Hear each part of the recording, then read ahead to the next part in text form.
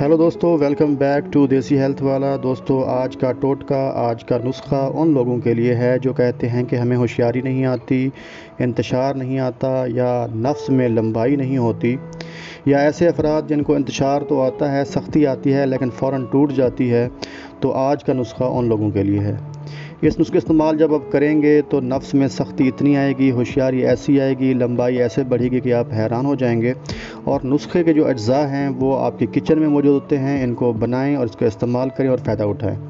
تو شروع کرتے ہیں آج کی ویڈیو۔ دوستو، سب سے پہلا کام آپ نے اس کا کرنا ہے کہ تل سفید لینے ہیں دو چمچ۔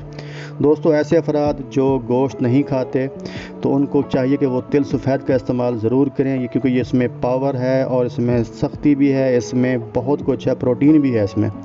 دوستو، اس کے بعد آپ نے لینے ہیں بادام۔ بادام آپ کا پتہ ہے کہ یہ دل، دماغ کے لیے بہت اچھی چیز ہے۔ دماغ کمزوری کو دور کرتے ہیں۔ بادام چار دد، کالی مرچ میدے کے لیے ہوتی ہے، بہت زبردست چیز ہے۔ دو دد آپ نے یہ لینے ہیں اور لونگ لینے ہیں، دو دانے۔ دوستو، ان سب کو آپ نے اس کا صفوف بنانا ہے، ان کو باریک کرنا ہے۔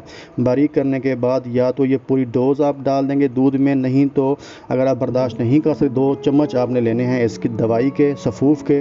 اس کے بعد ایک نیم گرم گلاس دودھ کا۔ جی ہاں دوستو، دودھ چاہے بکری کا ہو، چاہے وہ بھینس کا ہو، چاہے وہ گائے کا ہو، اس میں آپ نے ایک چمچ، دو چمچ یہ ملانے ہیں، مکس کر کے پی جانا ہے۔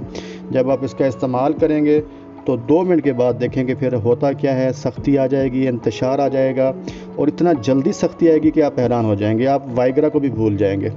تو اس کو بنائیں، اس کو استعمال کریں اور خوش رہیں۔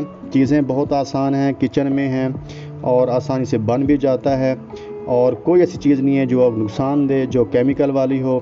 اور بنانے میں بہت آسان ہے، کوئی مشکل نہیں ہے۔ تو دودھ جو ہے وہ خالص ہونا شرط ہے۔ دودھ چاہے بکری کا ہو، چاہے وہ گائے کا ہو۔ اس کو آپ لے لیں اور دو چمچ کے ڈال کے استعمال کریں۔ اپنا بہت سارا خیال رکھیں۔ ملتے ہیں اگلی ویڈیو میں۔ تب تک اللہ حافظ۔